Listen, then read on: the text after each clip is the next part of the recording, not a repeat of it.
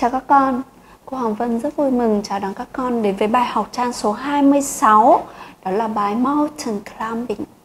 Ở bài này chúng mình sẽ có một sự thử thách một chút ở việc là tay chúng ta sẽ có một kỹ thuật mới Đó là left hand over Nghĩa là các con sẽ vắt tay trái qua tay phải. Đó Vắt tay trái lên vị trí cao. Đó hoặc là vị trí còn một vị trí nữa cũng được ghi left hand over là chỗ này. Đó thì các con nhìn thấy không? Mặc dù nốt đô này được viết ở khóa son nhưng các con lại chơi tay trái chứ không phải là tay phải nhé đó. Ngoài ra thì bài này uh, bài này có khá nhiều các dấu hóa bất thường. Dấu hóa bất thường được ghi ở các ô nhịp này. Đó. Có cả dấu dáng lẫn dấu thăng này. Đó và thêm một điểm nữa là bài này có một nốt mà rất lâu rồi chúng ta không gặp Đó là nốt C Nốt C của khóa son Đó thì lát nữa cô chơi trên đàn các con sẽ nhìn để quan sát xem là cô chơi vị trí C tay phải ở đâu. Còn bây giờ thì chúng ta đến với phần đọc nốt nhé Cô sẽ đọc nốt với khóa son trước này. Nhịp 3, 4 1, 2, 3 Đô, mi, son. Son Mi, rê, đô Mi, rê, đô Son Si. Chỗ này nghỉ một hai ba. Đô,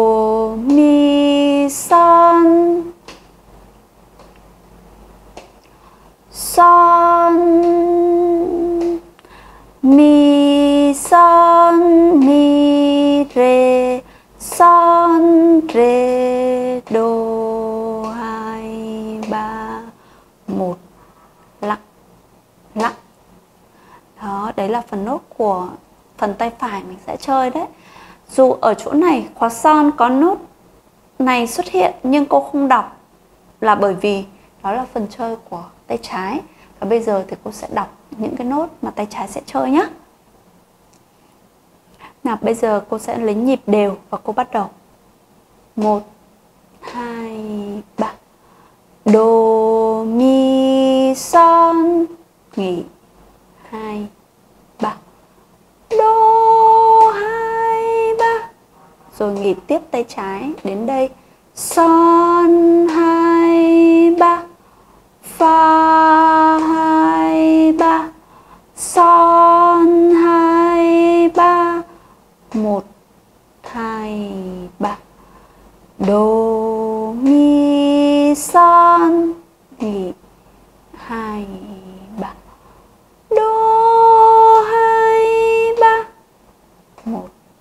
hai, ba.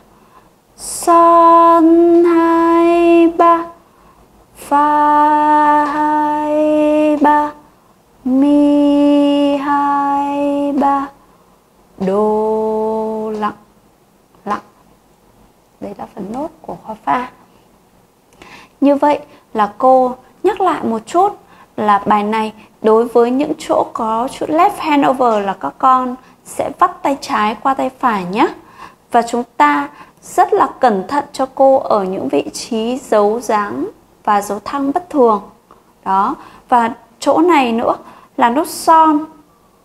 Và chúng ta chơi phím C tiếp theo thì ngón tay sẽ là 5 và ngón này là ngón 1. Đó, thì chúng ta phải giãn tay ra một chút đó sau đây thì các con nhìn cô làm mẫu ở trên đàn nhé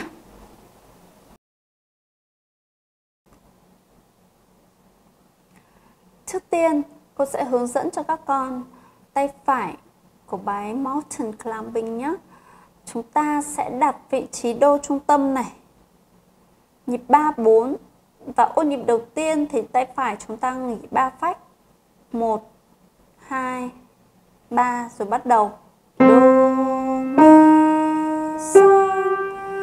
chỗ vắt tay thì chúng ta sẽ ngắt tiếng nhé. Chúng ta nhấc tay khỏi mặt phím và ô tiếp theo là son hai ba mi đê đô mi đê đô son hai ba si hai ba đô mi son chúng ta sẽ có một nốt vắt tay qua.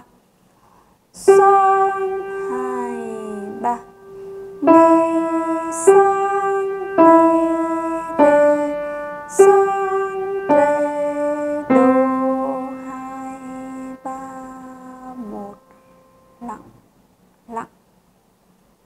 phần của khóa son tay phải. Và bây giờ cô sẽ hướng dẫn các con phần của tay trái. Tay trái của bản nhạc này, thì ngoài khóa pha chúng ta có một nốt vắt lên khóa son. Chúng ta sẽ chơi vị trí cao nhé. Các con cùng quan sát cô này một hai ba. Đô mi son.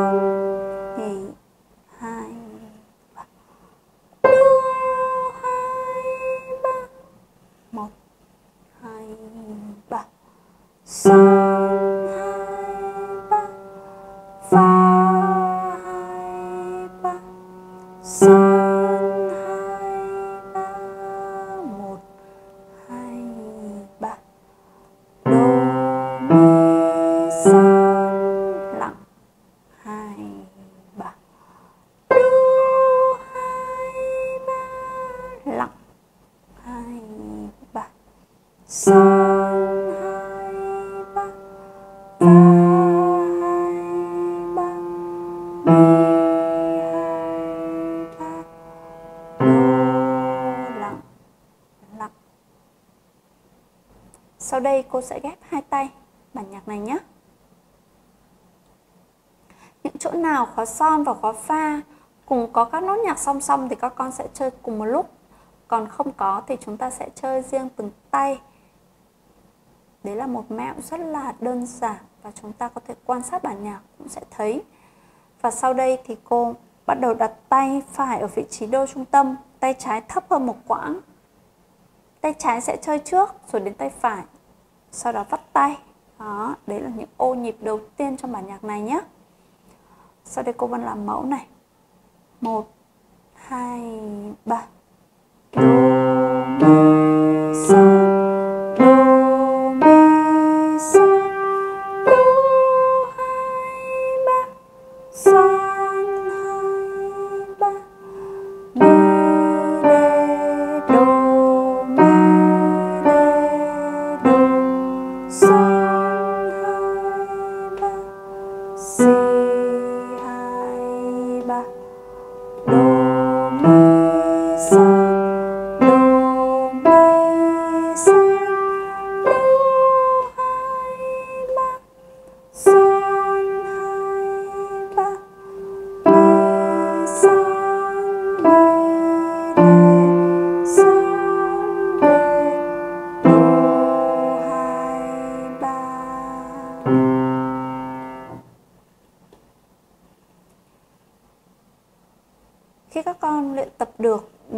Thế này rồi, thì chúng ta hãy bật nhạc lên và chúng ta sẽ chơi cùng để mình tăng dần tốc độ bản nhạc này lên tốc độ nhanh được nhé.